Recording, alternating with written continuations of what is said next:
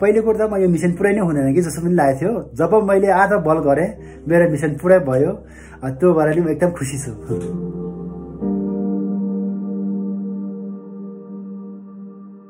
ओहो मलाई सपना जस्तो भयो क्या त्यहाँ त्यो टुप्पो पुगेपछि होइन मलाई यति मलाई गौरव लाग्यो कि किनभने मैले चाहिँ मैले केही गर्नुपर्छ भने सोच बनाएर आएको थिएँ। म मेरो चाहिँ मिसन सक्सेस भयो।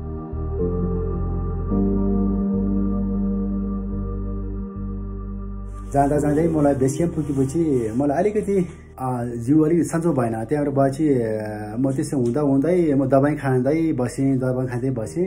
दबाई खा खानसम्म चाहिँ ठिक हुने। अनि फेरि त्यो दबाईको उ दोष सिधेपछि फेरि त्यसै फेरि जिउ दुखेर आउने छाती दुख्ने अनि एकदम जिउ एकदम गलेर आउने। अनि सबभन्दा कुरो सास फेर्नु गाह्रो।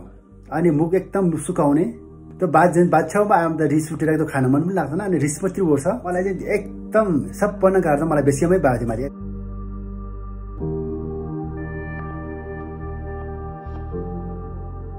हेलिकप्टरमा म लुख्ला झारेँ लुख्लाबाट फेरि त्यही हेलिकप्टरमा काठमाडौँ आएँ।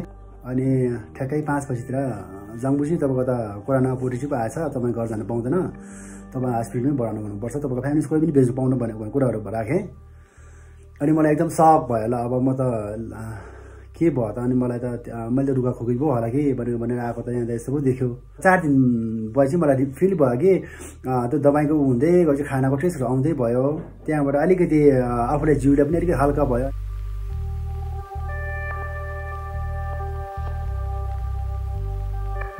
एक्सर्साइज गर्ने तातो खाने र त्यो रोग लागेर तपाईँलाई चाहिँ होपलेस नगर्नुहोस् त बरु। एकदम आत्मबल बनाउनु बलले बनाउनुहोस् त बरु होइन? कोरोनासँग त्यस संसारको सबभन्दा अग्लो ठाउँमा म पुगेँ। त्यसै गरेर म अर्कोलाई पनि त्यही प्रेरणा दिन्छु।